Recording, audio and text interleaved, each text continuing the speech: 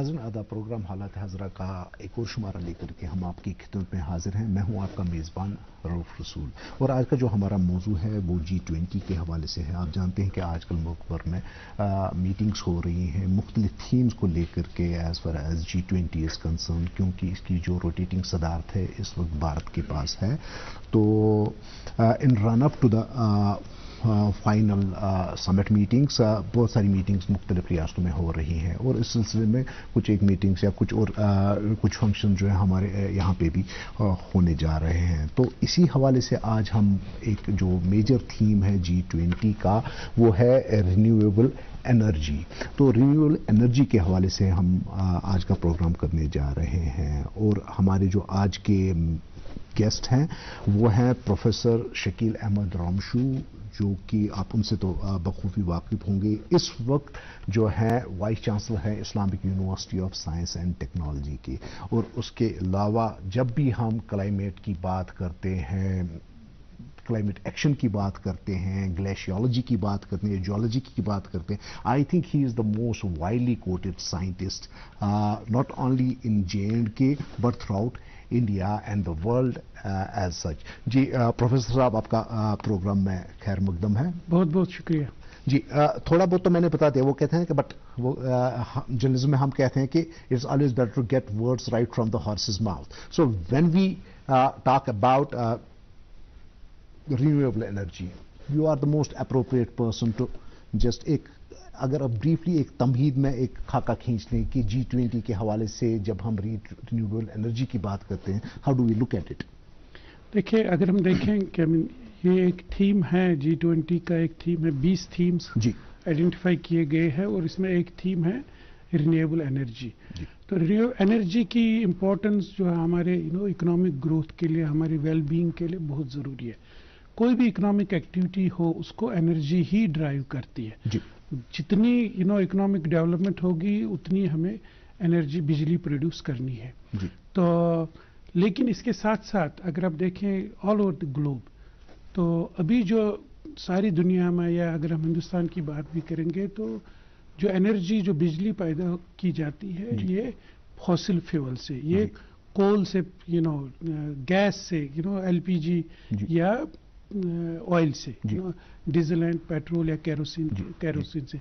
और ये सारी जिनको हम फॉसिल फ्यूल्स कहते हैं ये फॉसिल फ्यूल्स जब हम यूज़ करते हैं इससे बिजली पैदा होती है और इससे पोल्यूशन बहुत ज़्यादा बहुत ज़्यादा जिनको हम ग्रीन हाउस गैसेस कहते हैं। Carbon dioxide you know nitrous oxide methane और उससे जब ये मतलब अगर आप हिंदुस्तान में अगर हम देखेंगे करीब 80 परसेंट जो बिजली है 80 परसेंट जो एनर्जी है वो फॉसिल फ्यूल से जनरेट होती जी, है। जी. तो उस वजह से जो माहौल में जो ये आलूदगी है। आलूदगी या ग्रीन हाउस गैसेस इमिशन होती है बहुत ज़्यादा होती है। इसलिए सारा इंडस्ट्रियल दुनिया आप देखिए खासकर ये जी ट्वेंटी कंट्रीज़ जो है ये मेजर कंट्रीज़ दुनिया के है। और इकोनॉमिक डेवलपमेंट भी यहाँ बहुत हो रही है या हुई है। इसमें बहुत से कंट्रीज़ डेवलप्ड है। तो चूँकि एनर्जी एक बहुत इंपॉर्टेंट यू नो इशू है और उससे माहौल में या क्लाइमेट चेंज आप कहिए बहुत खराबी होती है इससे। तो ये कह रहे हैं कि हमें ये जो डर्टी एनर्जी है या नॉन रिन्यूएबल एनर्जी है जो कोल से हम यू नो जनरेट करते हैं या गैसोलीन से या एलपीजी से या कैरोसिन से इसको हम रिन्यूएबल तरीके से जनरेट करें। रिन्यूएबल का है ऑल्टरनेट जो है मुतबादल है वो है solar ji. Solar I mean system is the अगर हम सन देखेंगे तो बहुत बड़ा सोर्स है ना एनर्जी का। And ultimately sun is the source of all energy on exactly और उससे जब हम सोलर एनर्जी यू नो करेंगे या विंड से हम करते हैं या पानी से भी हम बिजली पैदा करते हैं तो ये इनको हम रिन्यूएबल एनर्जी कहते हैं। इनके यू नो जनरेशन से माहौल पर कोई बुरा असर नहीं होता है ऑन एन एवरेज तो इसलिए दुनिया में जितने भी कंट्रीज़ है खासकर डेवलप्ड और डेवलपिंग कंट्रीज़ जो यू नो लाइक इंडिया तो उन्होंने कमिटमेंट की है कि हम जो है किसी किस, बिल्कुल किसी डेट तक हम जैसे इंडिया पापा ये सब? हाँ जो चीज़ें बरसों से बेमसरो पड़ी हो उन्हें हटा देना चाहिए। ये भी दादाजी की पुरानी पासबुक और एफडी। अरे ये कैसे रह गई? कैसे गए? नहीं नहीं नहीं हल है हल है। बैंक खाते को जारी रखना चाहिए वरना खाता इनऑपरेटिव हो जाता है। ऐसे में बैंक से रब्ता करें खाते को जारी करवाएँ और अपनी जो रकम है उसका सूद के साथ क्लेम करें। दादू ये। आरबीआई कहता है। जानकार बनिए चौकन्ने रहिए। बिल्कुल सही फरमा रहे हैं। कि एक कमिटमेंट है इंटरनेशनल कम्युनिटी को। एक बहुत ही बोल्ड कमिटमेंट हमारे प्राइम मिनिस्टर ने इंडियन इंटरनेशनल कम्युनिटी को की कि हम 2070 कार्बन न्यूट्रल बनेंगे 2070 तक। 2070 में जो है हमारी जो टोटल जो इमिशंस होंगे ग्रीन हाउस गैसेस की वो और जो हम हाँ वो जो हमारी एब्जॉर्प्शन कैपेसिटी वो ज़ीरो होगी। तो we will not be contributing anything to the greenhouse gases and to the climate change और ये एक बहुत बड़ी यू नो कमिटमेंट है। और इसके लिए अगर आप देखें कि इंडिया में जो तैयारियाँ हो रही है जी। तो जैसे मैं आपको बताऊँ कि जो अभी जो है मतलब ला- 2019 में देख लीजिए हमारे मुल्क में टोटल जो है बीस हज़ार electric vehicles you know manufacture किए गए। जी। इस साल 22 23 में अभी तक अभी एक महीना है इस फाइनेंशियल ईयर का साढ़े पाँच लाख इलेक्ट्रिक व्हीकल्स मैन्युफैक्चर किए गए। तो यू कैन इमेजिन कि क्योंकि ये इलेक्ट्रिक बैटरीज है जैसे पेट्रोल है डीजल इसको हम रिप्लेस करके बिजली चाहे वो विंड एनर्जी से पैदा की जाए या सोलर से या किसी और से। तो ये एक बहुत बड़ी कमिटमेंट है कि इंडिया जैसे ये जो मैंने कहा कि इंटरनेशनल कम्युनिटी को इन्होंने कमिटमेंट दिए इसका एक यू नो जो पहलू है ये है कि आज से सिर्फ़ सात साल बाद यू नो जस्ट आज के बाद सात साल 2030 में आपके जितने भी two wheeler and three wheeler है 70 टू 80 परसेंट ऑफ़ और two wheelers and three wheelers will be run on the you know Batteries ele- ele electric which will be charged by the renewable energy in fact mera jo sawal tha wo yahi tha ki agar uh, uh, हम automotive sector में बहुत ज़्यादा ये hybridisation भी करते हैं या फिर इलेक्ट्रिकल व्हीकल्स बहुत ज़्यादा एक बहुत बड़ी लेवल पे मुतारफ करा लेते हैं लेकिन तब तक तो ऐसा कोई फ़ायदा नहीं होगा ना कि जहाँ तक as far as the energy जो इनकी चार्जिंग के लिए चाहिए जब तक वो रिन्यूएबल तरीके से ना बने। Exactly. अगर वो वही फॉसिल फ्यूल से बनती है हाँ, तो फिर बिल्कुल फिर तो कोई फ़ायदा ही तो नहीं वही है। ये जो ये तो बहुत इंपॉर्टेंट क्वेश्चन आपने कहा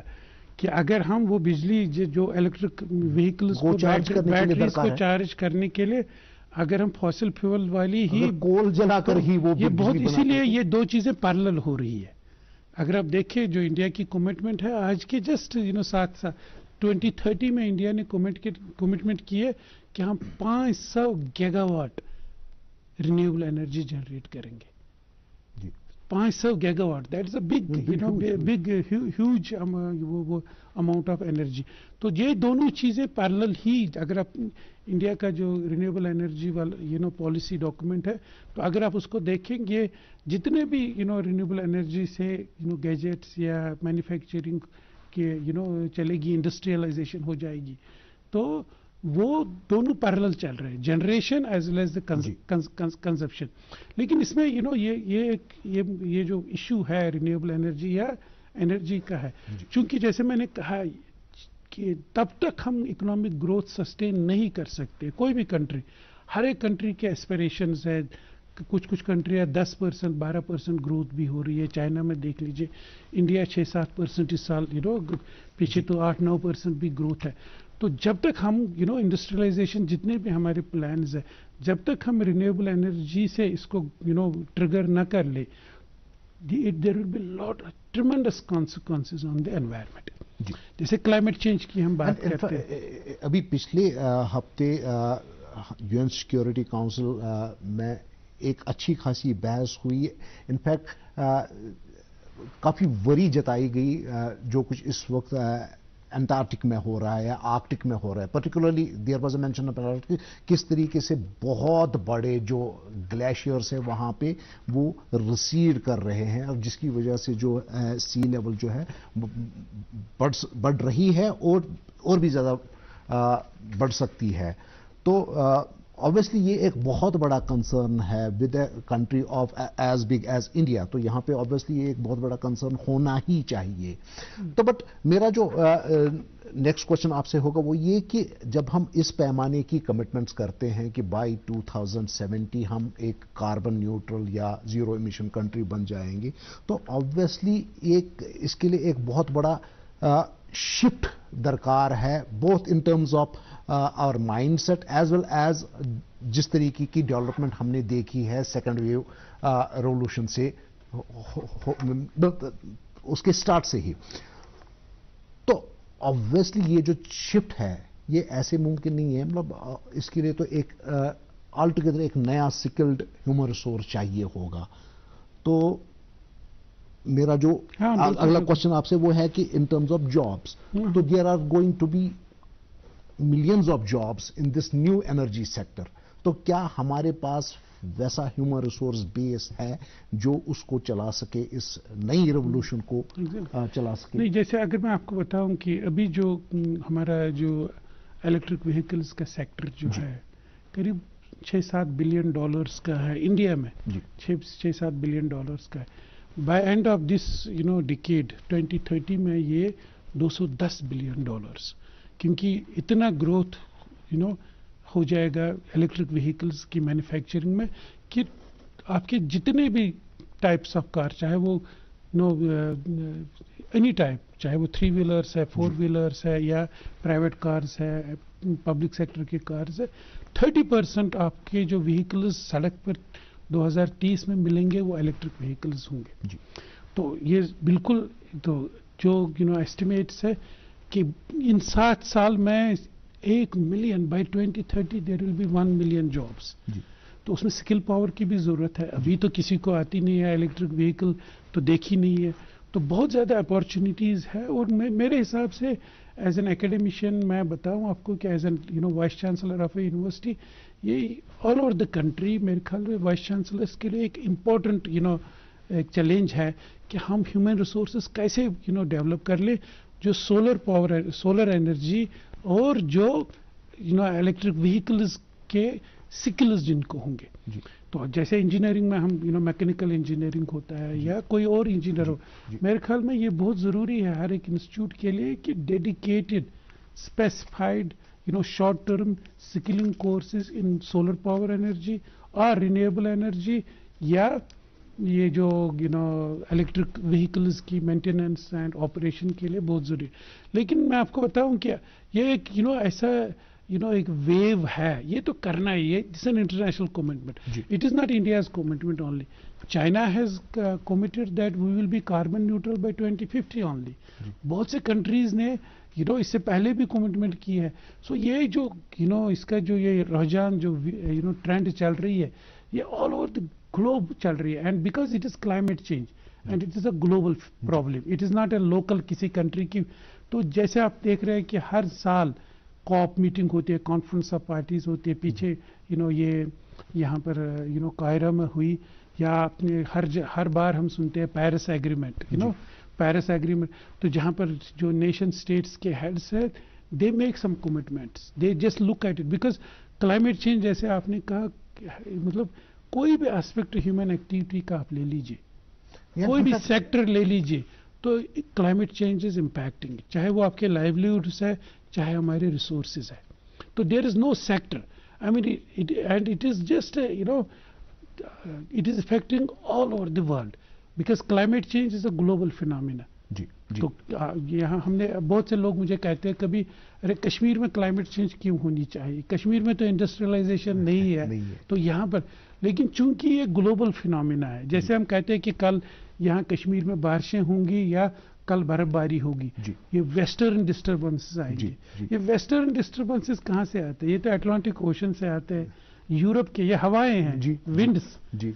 Western disturbance is Moisture bearing winds जो Caspian Sea area वगैरह तो से कैस्पियन सी के ऊपर ऊपर तो वहाँ से वो ये पोल्यूटेंट्स भी लाते हैं ग्रीन हाउसेस गैसेस भी लाते हैं। और हमारा टेम्परेचर यहाँ बढ़ रहा है। अभी पिछले दो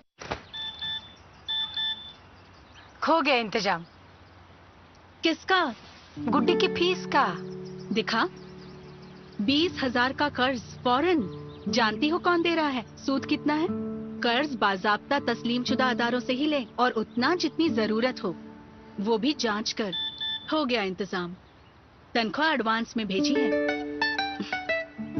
आरबीआई कहता है सही माली बर्ताव करे आपका बचाव। हमने गुलमर्ग के कुछ हिस्सों में येलो कलर की ब्राउनिश कलर की स्नोफॉल देखी। सब वेस्ट एशिया से तो- वो तो वो तो वेस्ट एशिया से आई। आया हुआ है। मिडिल ईस्ट से वो आई विंड या स्टॉर्म पहले और दूसरे गल्फ वार के दौरान यहाँ पे काली बर्फ़ भी हाँ हमें बिल्कुल जो जो देखने को मिली और यू नो इराक का जो वार था तो इसलिए चूँकि ये ग्लोबल फिनोमिना सारा कुछ जुड़ा हुआ है। जुड़ा हुआ है इसलिए सारे नेशन कंट्रीज़ चाहे वो इंडिया हो चाहे वो अमेरिका हो चाहे वो डेवलपिंग कंट्री हो डेवलप्ड कंट्री हो यू नो सारे मिलके you know they have committed under the हम कहते हैं United Nations Framework Convention on Climate Change ji. So we are signatories to it ji and these are binding commitments ji. Internationally UN bodies जो है जी। United Nations they are monitoring it जी। जो हम commitment कर रहे हैं you know ये किस level तक ये इसको कर रहे हैं तो इसलिए बहुत ज़रूरी है कि इस ये जो ये ट्रेंड है ये जो प्रोग्राम्स है इसमें तो you know there is no alternative but to be part of this doctor साहब अब थोड़ा बहुत अगर हम अपने यहाँ पे जम्मू एंड कश्मीर की तरफ़ आए तो ये जो अ, हमारी कमिटमेंट्स हैं मुल्क की सतह पर या इंटरनेशनल बैन अवी सतह पर जो हमारी कमिटमेंट्स हैं इनके हवाले से अ, क्या कुछ हो रहा है as far as universities in J and K are concern तो क्या कोई एक्टिविटी हो रही है हमारी हाँ, यूनिवर्सिटी लेवल पे हमारे कॉलेजेस के लेवल बिल्कुल पे? बिल्कुल। यू नो यहाँ की गवर्नमेंट जो है government of Jammu and Kashmir ने यू नो सारे वाइस चांसलर्स को यू नो के साथ यू नो कोलोबरेट करके ताउन करके उनको कहा है कि जितने मैंने कहा 20 थीम्स है करीब इसमें यू नो जी ट्वेंटी में जो इम्पोर्टेंट इश्यूज़ है। जी। जो दुनिया में इस वक्त इम्पोर्टेंट इश्यूज़ है। जी। ये 20 के करीब हमने आइडेंटिफाई किए हैं, मतलब जी ट्वेंटी लीडर्स ने किए हैं। और इसके सॉल्यूशंस यू नो फाइंड करने हैं। या अगर कोई भी पॉलिसी है उसमें यू नो कैसे हम सुधार लाएँ या किसमें उसमें इम्प्रूवमेंट्स तो मकसद यही है कि अभी आज इस साल जो है प्रेसिडेंसी भारत के पास है। पीछे तो इंडोनेशिया के पास है और नो आगे एक साल ये प्रेसिडेंट तो इसका मतलब है कि इस मुल्क में जितने भी यू नो साइंटिस्ट्स है आम लोग हैं इंडस्ट्रियलिस्ट्स है जर्नलिस्ट्स है एडमिनिस्ट्रेटर्स है ये ट्वेंटी थीम्स के साथ जुड़े हुए हैं। इन सारे कलेक्टिव जो विजडम है यहाँ इस कंट्री में और जी ट्वेंटी के जितने भी साइंटिस्ट्स हैं जितने भी इंडस्ट्रियलिस्ट्स हैं ये मिल के तो इन थीम्स पर डिस्कस करना है और जो पॉलिसीज़ है ग्लोबल लेवल पर उसको कैसे इंप्रूव कर ले। तो इसमें बहुत से वर्किंग ग्रुप्स भी है और इस सवाल से जैसे government of Jammu and Kashmir ने भी यहाँ पर एक बहुत बड़ी इवेंट हो रही है। बहुत से इवेंट्स हो रहे हैं हमारी यूनिवर्सिटी में इवेंट्स हो रहे हैं हर जगह। लेकिन सबसे बड़ी इवेंट जो है Y twenty youth twenty event हो जाए हो, हो रही है ग्यारह मई को कश्मीर यूनिवर्सिटी में। और उसका थीम जो है climate change sustainable development and disaster management you know तो, तो ये दूसरी यू ट्वेंटी की मीटिंग होगी। पिछले दिनों एक असम में हुई थी। हाँ अब एग्जैक्टली तो इसमें जो है ये जितनी भी ये मीटिंग्स है इसमें फॉरेन एक्सपर्ट्स आते हैं नेशनल एक्सपर्ट्स आते हैं लोकल एक्सपर्ट्स आते और जो इश्यूज़ है जैसे जो जो इश्यूज़ मैंने कहा कि इसके इंटरनेशनल क्या रेमिफिकेशन है क्या स्ट्रेटजीज नेशन कंट्रीज़ को यू नो कर रहे हैं करनी चाहिए और क्या लैकुनी है क्या नॉलेज गैप्स है और उसको एड्रेस करने के लिए क्या करना चाहिए और जब ये वाई ट्वेंटी या जो भी है बाकी जिनो बहुत से यू नो थीम्स पे वर्किंग ग्रुप्स है ये अपना रिपोर्ट जो है जब जी ट्वेंटी इंडिया में मिलेगी तो these reports will go to them you know they summit के दौरान जब एग्जैक्टली समिट के दौरान इन थीम्स पर डिस्कशन होगी in light of the knowledge in light of the strategies that have been proposed तो वो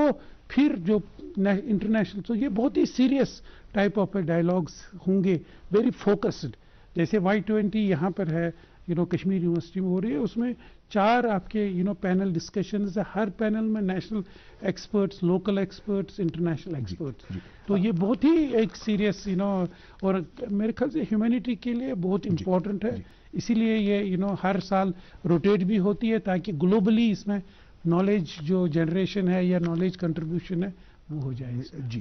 डॉक्टर साहब अब एक और जो क्वेश्चन है जो पॉलिटिकल भी है थोड़ा सा लेकिन डायरेक्टली आपके सब्जेक्ट एरिया से ताल्लुक रखता है। वो है कि पीस बिल्डिंग एंड रिकन्सिलिएशन भी एक बहुत बड़ा थीम है as far as G twenty is concern और वर्ल्ड बैंक की प्रिडिक्शंस कई सालों पहले की है कि future wars are going to be resource wars particularly water is mention there कि जो भी फ्यूचर के वार्स होंगे। They will be fought around different resource portable economic resource particularly पानी। और हॉर्न ऑफ़ अफ्रीका में बहुत सारे कॉन्फ्लिक्ट हम इस वक्त भी देख रहे हैं which are fought around water और as far as Jammu and Kashmir is concern हम एक बहुत बड़े वाटर रिसोर्स पे बैठे हुए हैं।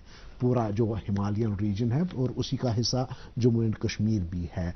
तो उस हवाले से, और पानी का भी जो हमारे ग्लेशियर्स वगैरह है हमारा जो क्लाइमेट है उसका भी एक डायरेक्ट साबका जो है इसी के साथ है। क्लाइमेट चेंज के साथ है या जिसको हम रिन्यूएबल एनर्जी की अभी तक हम बात कर रहे थे। तो इस सारी चीज़ों को आप कैसे देखते हैं? बिल्कुल ये बहुत ही इंपॉर्टेंट और रेलिवेंट सवाल है। जैसे मैंने कहा कोई भी रिसोर्स नहीं है जिसका जिस पर क्लाइमेट चेंज का इम्पैक्ट नहीं पड़ रहा है। तो वाटर बहुत इंपॉर्टेंट रिसोर्स है और हमारे लिए कश्मीर में जम्मू कश्मीर लद्दाख में सबसे अहम सबसे इंपॉर्टेंट रिसोर्स जो है वो वाटर है। हमारे पास अठारह हज़ार के करीब ग्लेशियर्स है। सियाचिन ग्लेशियर इतना बड़ा है कि यू नो अनंतनाग से बारामूला तक इसकी यू नो लंबाई है। तो ऐसे ही हमारे पास बहुत से ग्लेशियर्स है। ये बात बिल्कुल सही है और खासकर जो क्लाइमेट चेंज की वजह से ये पिघल रहे हैं। जी। और एक कम रिसोर्स हो रहा है। इसलिए जब कम कोई रिसोर्स होगा तो, तो ये बहुत ज़रूरी है हमारे लिए कॉन्फ्लिक्ट्स बहुत ज़्यादा हाँ। एग्रीवेट हो जाएँगे तो इसलिए इसलिए हम नो पॉलिसी मेकर्स के लिए साइंटिस्ट के लिए ये बहुत इंपॉर्टेंट है कि इस रिसोर्स को कितना हम कितना ज़्यादा हम इसको सस्टेनेबल बनाए। सस्टेनेबल बनाए। तो ये बहुत इंपॉर्टेंट है। चाहे अगर आप देखिए जैसे आपने इंडस वाटर ट्रीटी की बात कही तो ये 1960 में साइन हुई और इसमें क्लाइमेट चेंज का उस टाइम कॉन्सेप्ट नहीं था। इवन अगर आप इंडस वाटर ट्रीटी को देखिए उसमें पोल्यूशन यू नो का वर्ड ही नहीं है। उसमें ग्राउंड वाटर का वर्ड ही नहीं है। ये बहुत, ये इश्यूज़ जो है, चाहे वो क्लाइमेट चेंज हो, चाहे वो पोल्यूशन हो, चाहे वो ग्राउंड वाटर हो, ये बहुत इंपॉर्टेंट इश्यू आज आज के यू नो टाइम में है। तो इसलिए आपने देखो, अगर बहुत टाइम से हम यू नो मैं भी उस यू नो डायलॉग का पार्ट हूँ कि ये जो वाटर इश्यूज़ है इसको कैसे यू you नो know, हम चाहे आप इसको ये इश्यूज़ जो है जो इस इसमें आए नहीं है पहले इनको कैसे हम सप्लीमेंट किए करें? तो अगर आप देखें गवर्नमेंट ऑफ़ इंडिया ने भी रिसेंटली कहा कि सप्लीमेंट की ज़रूरत है ट्रीटी को या but it has to be guided by the science and knowledge जो भी यू नो जो भी रिसोर्स हो यू नो चाहे वो वाटर हो या कोई और नेचुरल रिसोर्स हो इसको सस्टेनेबल बनाने के लिए विदाउट एनी पॉलिटिकल कंसिडरेशन और यू नो वो तो बाद में आएँगी। पहले ये जो रिसोर्स है ये कैसे हम सस्टेनेबल बनाएँगे फॉर आवर प्रोजिनी चाहे वो वाटर हो मुझे लगता है उसके हवाले से G twenty is playing a very important role all over the world ये ये हमारे यहाँ इंडस की बात नहीं है। जी। आप देख लीजिए नाइल में आप देख लीजिए यू नो मिडिल ईस्ट में हर जगह वाटर जो है you know it is a very you know important resource humanity के लिए ह्यूमन डेवलपमेंट के लिए इकोनॉमिक डेवलपमेंट के लिए. तो इसलिए मेरे ख्याल से G twenty is playing a very important role all over the world in making these resources including water and in fact, in fact uh, specific politics aside इस पे तो सबका एग्रीमेंट है कि क्लाइमेट जो है इसका डायरेक्टली जो है uh, असर जो है वो it impacts our choice of war and peace तो अगर क्लाइमेट uh, को हम सस्टेन नहीं कर पाते हैं बचा नहीं पाते हैं तो ऑब्वियसली जो रिसोर्स क्रंच मुल्कों को फेस करने पड़ेंगे for instance in terms of water तो that is going to aggravate conflicts incidence of conflicts is going to increase और uh, एक और चीज़ जो रिलेटेड हम देख रहे हैं पर्टिकुलरली जो कुछ uh, जोशीमठ में देखने को मिल रहा है और जिस तरह से हमने भी यहाँ पे पिछले दो एक दिनों में देखा यहाँ पे गांधरमल में भी uh, सिंकिंग के कुछ लैंड सिंकिंग के कुछ वाकत हुए। अभी पिछले हफ़्ते में भी जो हमारा श्रीनगर जम्मू नेशनल हाईवे है तो बिल्कुल मुश्किल से ही किसी किसी दिन खुला रह पाया है, क्योंकि वहाँ पे भी जो लैंडस्लाइड्स वगैरह है, वो रुकने का नाम नहीं ले रही हैं। तो अगेन उस हिसाब से भी जब हम डेवलपमेंट की भी बात करते हैं, सड़क तो हम सबको दरकार है डेवलपमेंट हम सबको दरकार है, लेकिन एट वट कॉस्ट नहीं अगर आप देखिए अगर आप ये जो 20 थीम्स मैंने कही जी ट्वेंटी के इसमें एक इंपॉर्टेंट थीम है। सबसे बड़ा थीम जो है वो सस्टेनेबल डेवलपमेंट गोल्स है। जी। तो ये तो ऑल ओवर द ग्लोब अगर आप देखिए एनवायरनमेंट डिग्रेडेशन तो अभी ग्लोबल प्रॉब्लम है। ये जोशीमठ की प्रॉब्लम नहीं है। आप देख लीजिए जोशीमठ केदारनाथ कश्मीर में देख लीजिए हमारी नेशनल हाईवे है। वहाँ पर भी लैंडस्लाइड्स होती है। अभी डोडा में हमने देखा है। तो इसके जो मेन रीजंस है कि जो हमारी खासकर इंफ्रास्ट्रक्चर डेवलपमेंट होती है जी। वो यू नो एनवायरमेंटल अनफ्रेंडली होती जी है। जी जी। अगर हम यू you नो know, ये ये हर जगह अगर आप देखिए तो इसीलिए इसमें जो हमारा जो सस्टेनेबल डेवलपमेंट गोल है उसमें एक बिल्कुल एक कि एनवायरमेंटल फ्रेंडली इकोनॉमिक डेवलपमेंट या इंफ्रास्ट्रक्चर डेवलपमेंट होनी चाहिए। यहाँ पर भी हम भी बात करते हैं या गवर्नमेंट के भी जो प्लान्स है वो भी तो environmental you know friendly sustainable लेकिन जो जब है तक एनवायरमेंट फ्रेंडली डेवलपमेंट नहीं होगी तब तक वो सस्टेनेबल हो ही नहीं exactly. सकती है। सो so ये इश्यूज़ जो है इसमें गवर्नमेंट का भी एक रोल है लेकिन जो लोग हैं जी। यू नो know, मैं हमेशा कहता हूँ यू नो मेरी ज़िंदगी जो है मुझे इसका ज़्यादा ख्याल रखना चाहे other than that I outsource it to government कि गवर्नमेंट ही इसका सारा ख्याल रखे। तो इसलिए अगर जब हम कोई मकान बनाते हैं या कोई एक्टिविटी करते हैं तो मेरे ख्याल से इन चीज़ों की तरफ़ हमें भी ध्यान देना चाहिए। हमने 2014 की सैलाब तो देखी हमने लैंडस्लाइड देखे एवलांचेस देखे। जम्मू कश्मीर लद्दाख में तो एवलांचेस के एरियाज़ तो बिल्कुल डिफाइंड है। हिस्टोरिकली हमारे पेरेंट्स ग्रैंड पेरेंट्स को पता है कि एवलांची और लैंडस्लाइड का है। मुझे क्यों मकान बनाना चाहिए? वो चाहे गवर्नमेंट देख रही है नहीं देख रही है। तो पहले तो ज़िम्मेदारी मेरी है। तो इसलिए ये बहुत ज़रूरी है कि इसमें मैं एक और चीज़ ऐड करना चाहूँगा ग्यून द हम कैसी सीस्मिक जोन्स में हैं as far as Jammu and Kashmir is concern अभी टर्की में हमने देखा कि भूचाल की वजह से कितना टर्की सीरिया में कितना ज़्यादा नुकसान हुआ। और हम भी सिस्मिक जोन फोर और फाइव में हैं most of our J and K which makes is highly prone और वनरेबल टू अर्थक्वेक्स और हिमालयाज भी हम देख रहे हैं, ये भी पैदावार ही है इन्हीं जो हम अर्थक्वेक तो नहीं कह सकते बट जो ज़मीन के अंदर की मूवमेंट है, उसी की पैदावार है हिमालयाज। तो अगेन जो हमारी यहाँ पे जो डेवलपमेंट होती है इट हैज़ टू बी यानी इसमें तो कोई दो राय नहीं है it has to be environment friendly it has to be it has to be sustainable it has to be properly engineered with environmental and seismic uh, concerns there in the forefront. Exactly मेरे ख्याल में ये लोगों की priority होनी चाहिए। जैसे मैंने कहा जब हम you know, एक मकान बनाते हैं तो हमारा पर्सपेक्टिव जो होता है सौ साल डेढ़ साल ये मकान जो है इसमें लोग रहेंगे। तो इसलिए यू you नो know, वो बहुत ही इम्पोर्टेंट है कि ये चीज़ बहुत ही इम्पोर्टेंट है कि हम जब मकान बनाएँ तो ये कंसिड्रेशन ये कश्मीर में ये ये यू नो जो हम तुर्की में देखा हमने ये कश्मीर में कोई नया नहीं है। हिस्टोरिकली यहाँ पर बड़े बड़े जलजिले आए हैं। यू नो अगर आप देखें 2005 में हमने देखा। हाँ तो उससे पहले भी इतने जलजिले आए हैं और हमारे जो मैं हमेशा समझता हूँ कि जो हमारे यू नो बुज़ुर्ग थे वो हमसे ज़्यादा यू नो वाइज थे कि उनके मकान देख लीजिए यहाँ की मस्जिदें देख लीजिए यहाँ की जियारत गाहें देख लीजिए कितने सेफ़ है। You know. और कितने सौ स- स- स- सदियों से वो यहाँ पर बिल्कुल कायम है डिस्पाइट तो ये बहुत इंपॉर्टेंट इशू है कि यू नो अगर आप देखें बिल्डिंग कोड्स हमारे बिल्कुल ये नहीं है कि गवर्नमेंट ने रेगुलेशंस नहीं रखे। गवर्नमेंट के तो बिल्कुल ये हमारे यू नो बिल्कुल सोफिस्टिकेटेड बिल्कुल you know I would say very good building codes हमारे यहाँ पर है।